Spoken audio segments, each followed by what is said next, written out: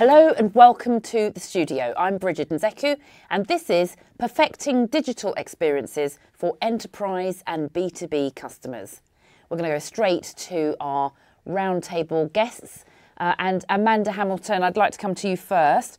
Can you define, from your perspective, what is the digital experience um, for enterprise and B2B customers? What does that mean to you? So, our business is uh, one of the largest providers of community care within the UK. So, B2B to us has a lot to do with integrating data and digital experiences between other healthcare providers and between local governments and between social care uh, and third sector uh, companies and or providers. So for us, it's a very unique space. There's no one cookie cutter approach, just doesn't quite work for us. It means that each local community may have its own requirement for what that digital experience needs to be, different data sets, different functions, different processes that need to sit behind that. So it is very bespoke and very niche for us in what we can deliver into that space equally it's quite um, it's quite those sorts of technologies and processes are very nascent in the uk so it's very much a growing area. So lots of innovation in there as well. Um, you would no doubt say that uh, if it's nascent in the UK, you're in the forerunners, certainly in your sector. There are what I would call hospital, so NHS large CCG or clinical commissioning group sort of uh, functions that have been there and players that are in that space. But I think in social care, absolutely, there are a handful of players that are innovating in that space, and we certainly see ourselves as one of them. Carl Hoods, can we get your view actually from um, from BEIS's perspective? What what does it yeah, mean so, to you? So as a as central government department, we I guess we've got two angles. There's the enterprise services we run internally, which help support the rest of the organisation in the activity they do, and then the uh, the business facing services which align to objectives. So. Uh, you know, we have a range of digital experiences internally, which uh, which can be everything from the core services and systems that people use.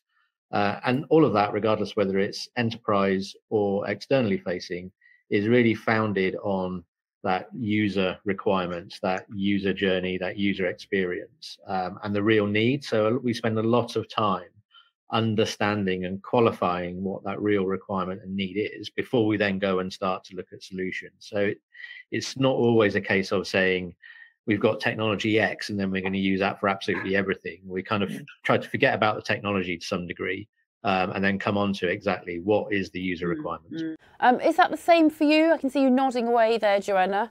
Um, tell us about your your sector, your industry. Um, yeah. What does it mean for you? Um, yes, I was nodding away about the, you know, putting the customer at the heart of it and understanding the outcome of what that customer is trying to, to achieve. And I think certainly in our case, we have so many different shapes and types of customers. So we could have, um, you know, a massive retailer that we're working with about taking their business uh, global and on online via e-commerce and thinking about the outcomes that that customer is, is needing to achieve. And that could be online and it could be in store as well. They might want digital experiences for customers physically in store, but digital as well. So it can mean that for us. If you look at our hotel business, the experience area of our business, where we've got um, hotels and event space, and those largely being booked for enterprises using them for um, events. What do they need? You know, what outcome are they looking to achieve to organise their event and use the technology as well within our within our event space? Um, and then we've got other flavors of enterprise customers. So in our hosting business, if a enterprise customer is going to um, purchase our VMware as a service platform, yes, VMware, but what are you looking to do with it? What outcome are you looking to achieve with that? So I was nodding furiously when Carl was speaking about it's about the customer and the outcome they're looking to achieve, and then we we design an appropriate solution for that it also means to me as well everything else that goes around that as far as customer experience, whether that's support, how they engage with our platform, how they use our platform to delight their customers, their sort of direct to consumer customers. Um, as well, it's professional services, managed services, the whole wrapper that goes around that and digitizing that experience for them for them as well. In in previous organizations, there's been a nod to customer centricity uh, talking about customer needs, but it was often the organization's view about what a customer wanted rather than what we've actively and purposely try and do is actually speak to those customers, speak to those end users. And I think sometimes it can feel organizations fall into that trap of thinking, oh, this is this is all about the user, but it's our view of the user, not the mm. actual user's view. So um, over the years, we've definitely tried to kind of change that and make sure that we're we're really qualifying what we're building, what we're delivering against a real user requirement and a real user need. I'm going to thank you, Carl. I'm going to come to Leon actually, because as a, a company that is a consultant in this area, I'm sure this um, the points we've heard ring true. Is this what you're delivering to customers so that they can deliver for their customers? I think all of this really resonates with me. Um, you know, the I think we specifically talk about the B2B uh, space and the enterprise space, and I think um, there's kind of two areas here. One is connecting to the company's value proposition through an interface. The other one is, you know, connecting the processes of the company. And I think this area of software traditionally has been, you know, like Carl mentioned, has been a lot of times focused on other values rather than the customer. It was a lot about the technology, a lot about the process. And I think there is a growing understanding that you should treat um, enterprise and B2B customers in the same way as you treat consumer customers, even if uh, the cost of switching is a little bit higher and even if, you know, uh, a lot of times there's no technology in the space and you you know any software is better than other software mm. um, but i think this kind of focus on understanding the customer's jobs and solving for that is what makes uh, digital experiences in this space successful. And what would you say the uh, the key building blocks are um, for excellent digital experiences? I mean, uh, uh, and then we'll we'll we'll open this up to to um, to our other speakers.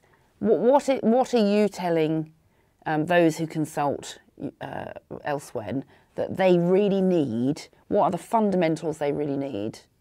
So I think again the fundamental most kind of baseline is understand what the customer needs, understand the customer jobs, and focus on that with you know kind of investing in aligning the processes and the, the technology and kind of like pay the price that you need to pay for that to really solve customer problems.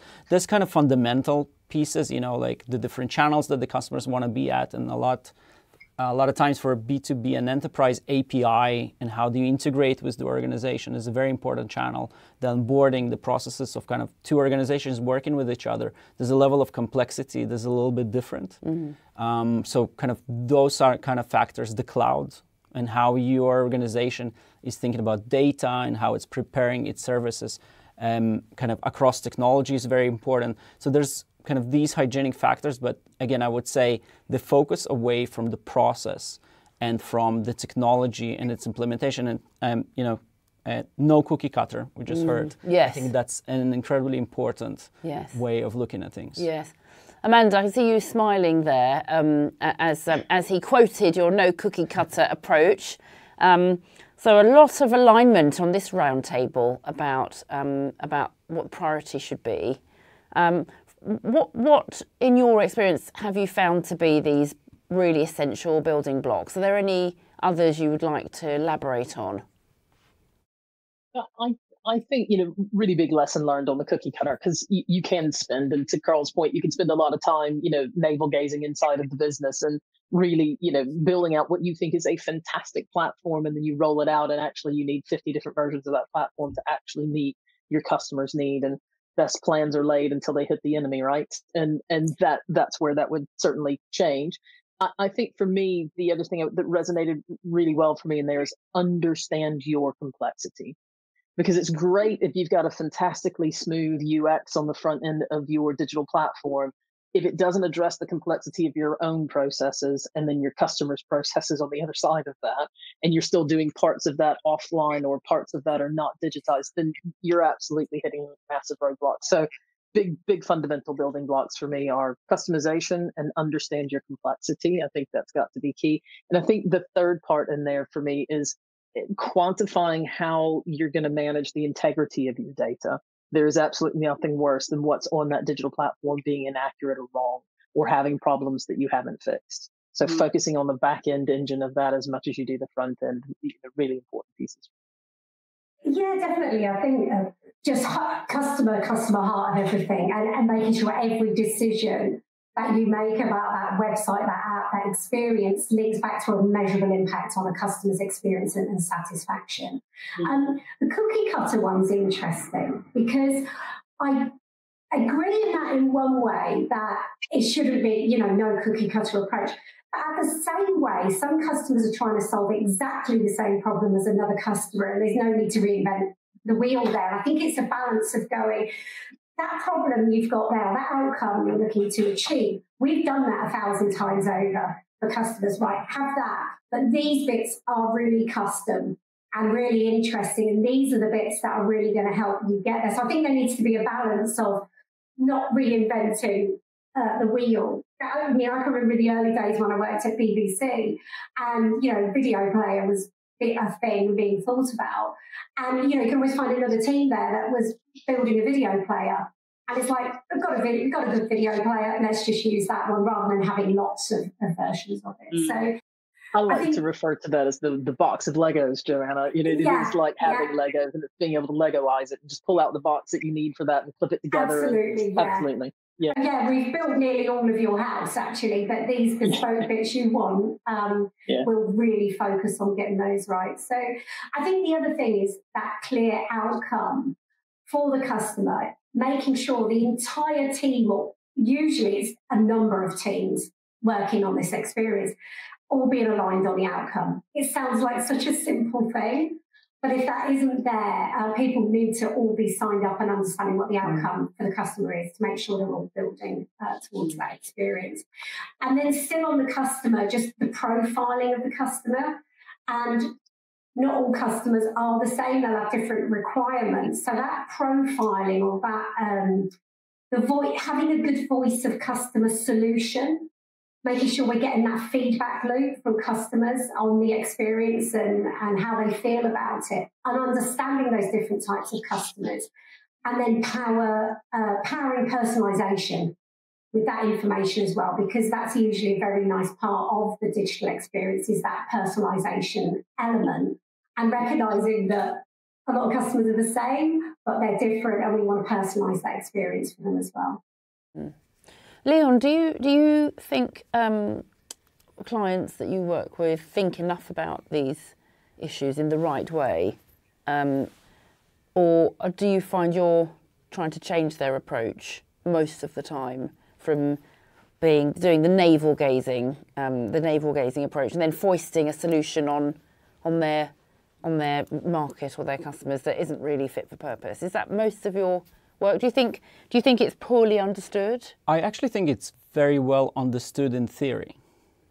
So um, what we a lot of times have to do is to bring the different parts of the business together to understand together what every is kind of like you know mm. five people holding the elephant you know one says it looks like a snake the other one says this you know it's a stump and kind of trying to mm. understand mm. what they're trying to achieve together and get to that agreement and kind of moving from theory to practice because um, I think what organizations sometimes struggle with and what they really need to realize is that when you say that you focus on the customer, you actually have to do that. Yes. You know, so and sometimes that's a um, kind of opportunity price or a pain that an organization or a change kind of uh, um, a cost that the organization has to go through to really think about the customer. And I love, um, uh, you know, the, this kind of it is about the entire stack. It's not just about the interface. It's about mm. thinking through the entire landscape of the organization, and some of that is technology enabled, and some of that is is process enabled to change to align towards that goal or that KPI that mm. you know is at the customers at the customer's benefit. So I think that's that's um, yeah. I'm just when you said earlier um, that you're from telling clients and your advice is you've got to pay the price to do this. Mm. You need to set aside budget and time and man woman power to really get to grips with this yeah. stuff. Um, and that does mean, I think, as Amanda said, actually talk to the customer, actually find out what they yeah, what they I think need. price it, it's is time consuming, isn't it? Price can be paid not just in monetary terms. You know, mm. it's about um, really taking the organization on a journey of change It's really kind of um, you know fixing things that are potentially uncomfortable. It's facing mm. the truth that you have to change mm. to be able to do what you say you want to do. Mm. And I think in today's kind of reality, um, how fast organizations are moving, if you don't do that, you're going to be left behind. I mm. think you know we we always like to tell our customers that technology is not just an enabler you know, every organization is going to become a technology organization, whether mm. they want it or not. It's a fabric that connects everything. Yes. Um, so to be able to realize that, and you know, a very famous example, the CEO of J.P. Morgan just announced 16 billion uh, uh, uh, dollars investing in improving J.P. Morgan becoming a tech organization. That's going to take the bank into the red which is a huge thing for a financial institution, you know, but mm. he's willing to pay the price. And again, this is not just a monetary term, it's, it's a mm. metaphor mm. for what the organization yes. needs to do. Yes. Where, Carl, have you identified or experienced, it, experienced pitfalls um, in creating digital experiences? Can you give us some examples of, of challenge, challenges or common pitfalls you think can, you could be need to be avoided? Yeah, I think to, to some degree bits of them have been have been covered in the conversation but you know there's the there's the user need but that needs to sit alongside the user journey. To amanda's point there's there's a little point having a really nice front end but actually if you're then having to move into uh, an offline process or or to to move somewhere else that being quite clunky. You know i had a recent example of an insurance claim i needed to make where fill out an online form i then get an email back which asked me for some more information largely of which i put in the form anyway Mm. And then it was a, a, response to that saying I needed to call a telephone number to then ring up and get some some further information from me, which all felt incredibly disjointed. So I think you know there is the need, the outcome you're trying to achieve, but that needs to sit alongside that end-to-end user journey and that overall process. Mm. I mean, that's a good way to infuriate a, an end user, isn't it? And that's obviously got to be um, avoided at all costs because they'll just go somewhere else. You know, it, it's actually a it's actually an important way to survive as a business, isn't it? To get it right for the customer. Joanna, any comment, any pitfalls you've encountered along the way um, or seen others do? I will ask everyone for some examples of um, very, you know, success as well. But in terms of pitfalls, Joanna, what would you point to? Definitely, I think um, I think you just hit the nail on the head. Actually, about the customer will just go somewhere else because that's the world we live in now, so that experience has to be good. I think the most common thing I see is getting that outcome clearly understood and properly probing the customer about that outcome as well. So you're saying to a customer, what, what is it you'd like to achieve? And then telling you something. Not at that point, then going, cool, running off and building something and then coming back, but probing, asking the right questions. Where I've seen things go wrong before is going, okay, cool, go off and build it and bring it back and go, here you go, this is amazing. And then the customer says, brilliant, now what we'd like to do is, is this. And going, ah, actually, we need to re-architect this whole thing because what you've just described, we can't actually achieve with what's been with what's been built here. So I think it's about understanding the entire outcome, using that architectural mindset to design a solution that, that will um, deliver that, and then getting all of the teams involved in that on board with that outcome and then and then going ahead and building the right the right solution and experience. There's an absolute art to that isn't there joanna? I mean you, you can have a good conversation with a client and you think you've kind of gotten right down to it and you don't quite have the the sort of skills to dig a bit deeper to ask the right questions. You paint yourself in a corner by accident. So absolutely. Mm. And I would imagine that's another area that you um, you're very active in at Elsewhen, which is helping them to understand how to probe what's what's really required. Yeah, I think um, talking to customers is super important. Um, building an understanding of their needs.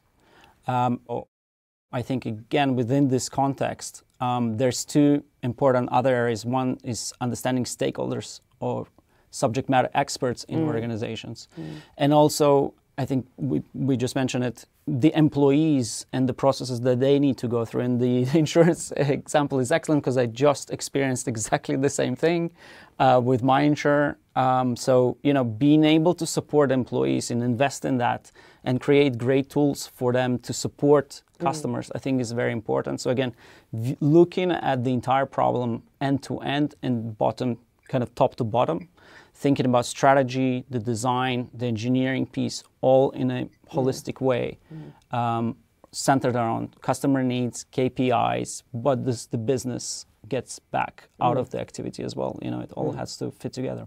Well, it, it sounds like insurance is a sector that Elsewhen could perhaps we, target. There's some problems there. If we hear what Carl we, and we do and work in insurance actually. Yeah. who would you? Who would you? I'll ask you in a moment, um, Leon. But um, Carl, is there any example um, of a sector or a or a firm? Can we name check some um, some organisations or sectors that are getting it right? Actually, they have done what's really required. They do really get their customer. Um, they do really have that architecture mindset to really probe and then design something that absolutely fits what the customer needs. Who would you say is doing it well? So uh, I think the advances in open banking, for example, of you know have kind of done really well in terms of those those banking applications and services. They're they're great, and I think that kind of moved from front office to back office. You know, in the early days, it seemed to be you know take mortgages for an example. Very nice front end uh, to apply for your mortgage, but back to earlier part of the conversation, handed off to an offline process took weeks and months to get an answer back. Whereas now that's that's they've just moved further to, together really. So that's that's definitely great. Mm. And then for me, being um, slightly addicted to purchasing uh, sneakers, trainers, uh, that sort of thing, Nike and Adidas do a fantastic job in terms of engagement and sell, upsell, cross sell, all of that kind of stuff. And oh, but also creating a community around it, which I think is also, you know, kind of incredibly important. And, mm-hmm. you know, to the old adage of go where people are, don't create somewhere new for them to go. I think they've done really well at kind of engaging with that. So, um, so there's a mm-hmm. couple of examples for me there that I think of particularly well. Good examples for me are companies like Swatch and uh, Ray-Ban, so on the retail front, where they are leading on that customization where where you can actually go in and build your own set of eyeglasses, sunglasses. You can build your own watch that is completely unique to you, which I think is very much responsive to market and consumers, you know, sort of wanting a a slightly more bespoke feel to the products they buy and they've really filled that niche. And they're just two examples. There's loads of companies it. Converse does it. There's lots of sneaker companies out there, Carl. That um, if you don't have some customized sneakers, I'll certainly give you a, a link to where I get mine. But, uh, but, but, yeah, I think there's some really great examples in the retail space where they're absolutely maximizing um, yeah. front end product and front front end uh, user engagement and product development off the back of that. So I, I've gone across that Ray Ban, amazing. Absolutely love that that ability, you know, to personalize things. That's huge area at the moment. And Monzo for me, I, I just think they've got it absolutely spot on with the experience, and they constantly continue to evolve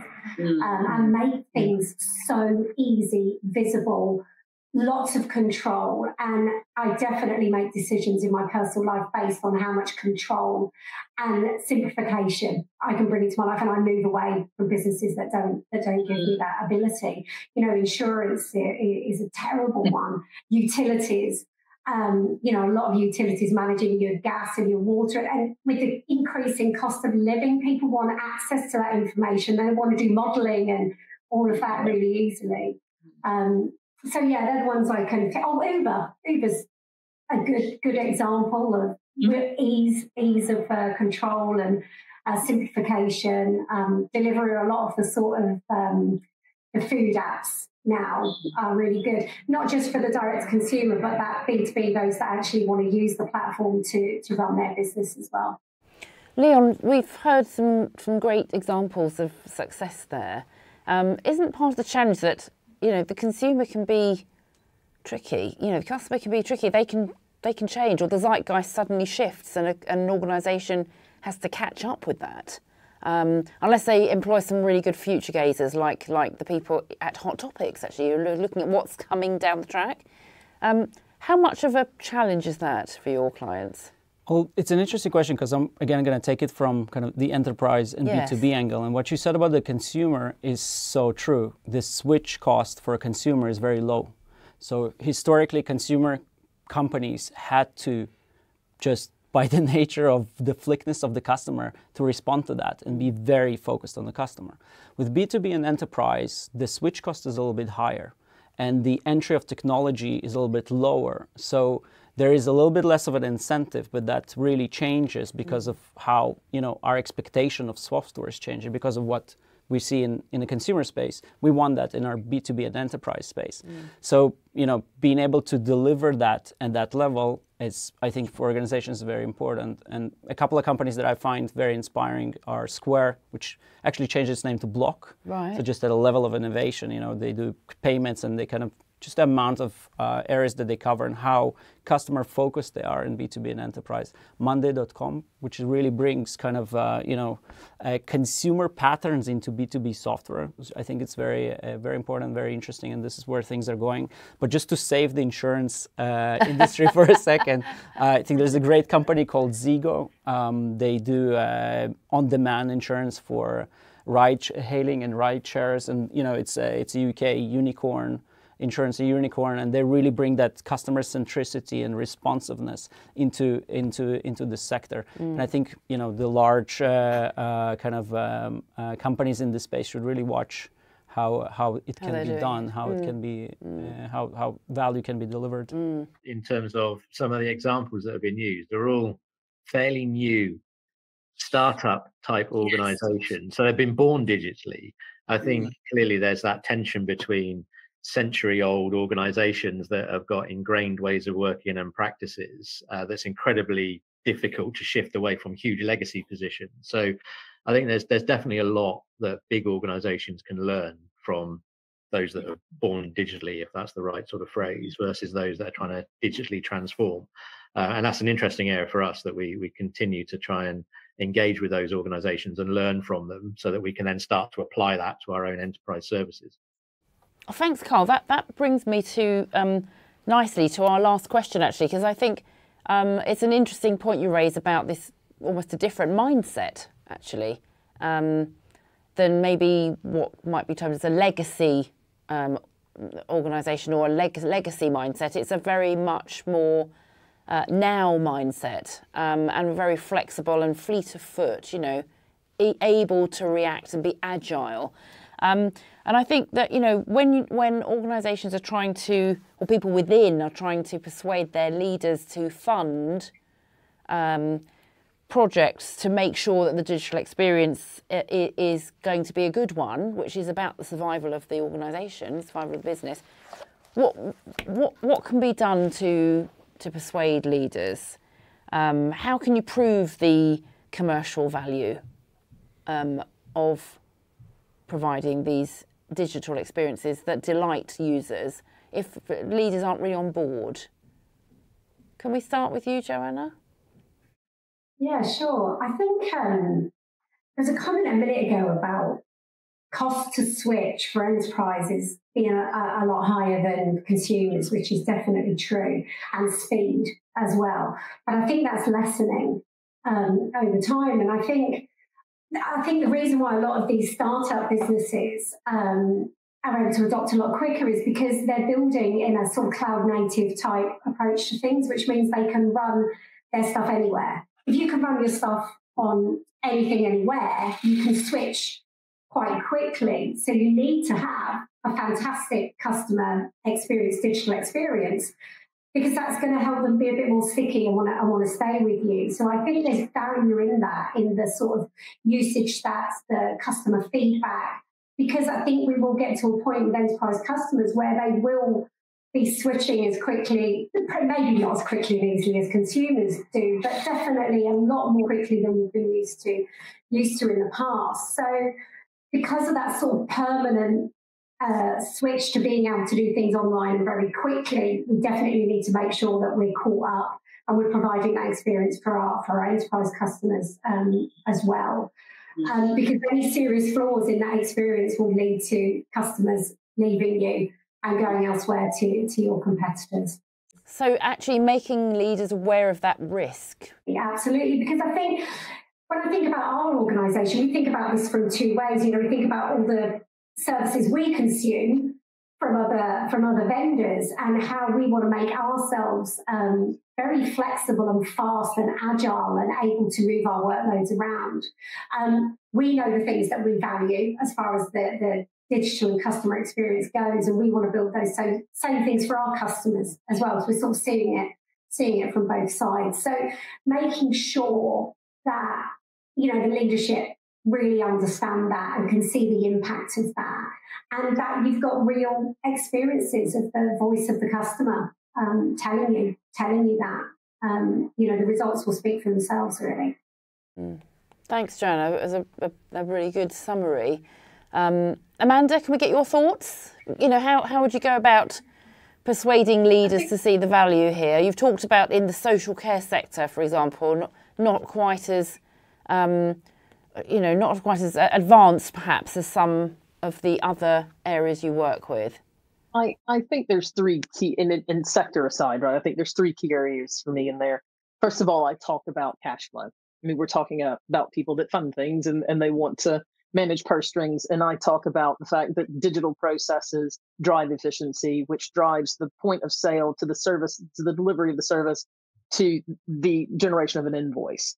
And if you can improve your daily sales outstanding, your cash flow by X number of days, then that speaks really well to anyone who's holding the purse strings. If you can fund a project through cash flow, they're a lot more likely to unlock that money for you you know they'll they'll give you three million pounds to deliver a project and what you're going to do is give them an extra million pounds in, in daily sales outstanding you know that that's a kind of given because you're self-funding your project at that point. But from that standpoint i then look at talking about attrition of customer and i think that's really kind of where joanna was leading on that which is actually workforces inside of our customers are moving to younger age groups. Those younger age groups are going to be picking and choosing the vendors they want to work with and if you are not on a digital platform they're going to be leaning towards those that are more native to the experience they've had their entire life growing up as a digital individual into their digital working life, right? So I talk about attrition of customer through workforce preferences within your customer. I then talk a little bit about actual efficiency and bring my sales team into the room, right? I, I bring them in and have that conversation and go, can you tell them why you want a digital platform? because I can tell you all the great stuff from a technical standpoint of what it might mean for securing information, for you know driving a you know everything end to end on that from experience. But you as a salesperson, you're the best person to articulate on my behalf what you want out of that digital platform for our B2B customers. So that that's sort of my starting point in there. Hopefully that's that's helpful.